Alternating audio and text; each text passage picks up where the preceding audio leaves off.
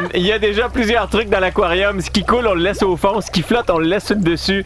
Là, il y a un Big Mac qui flotte. Il y a une poire dans le fond. Ça sent bien un peu opaque. Il y a un vibromasseur dans le fond. Il y a un jeu de cartes qui est euh, semi-flottant, semi au fond. Il y a encore des cartes qui coulent, hein, d'ailleurs. Je n'ai vu passer une tantôt. André Lantin est à côté de l'aquarium. Salut André. Salut! Il y a quoi d'autre dans l'aquarium que j'ai oublié, là?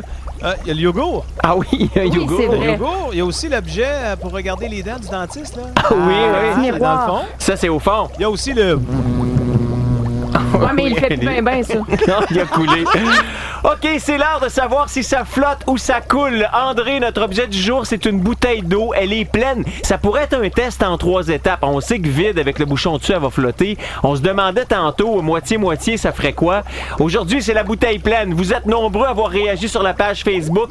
Il y a Jessica Dussault qui dit que ça flotte. Valérie Bélanger dit que ça flotte. Sabrina Duchesne dit que ça flotte.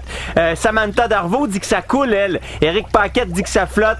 Euh, Chantal Brouillette dit ça coule. Vanessa Duquette dit ça flotte. Il y a plus de flotte que de coule. Tu même flotte et coule à chaque fois, Dani. Je tiens à le spécifier. C'est vraiment le fun. Oui, mais Ça euh, flotte ou ça coule, selon toi? euh, moi, je pense que ça... Hé, c'est plein. Ça coule. Ça- Toi? je pense aussi que ça coule parce qu'il n'y a pas assez d'air dans la bouteille. Elle André? est intacte. Ça flotte. OK, dans 3, 2, 1, renseigne-moi.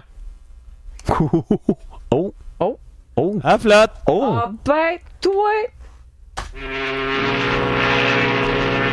Mais voyons, c'est pesant. Pourquoi ça flotte? Il n'y a pas d'air dans la bouteille.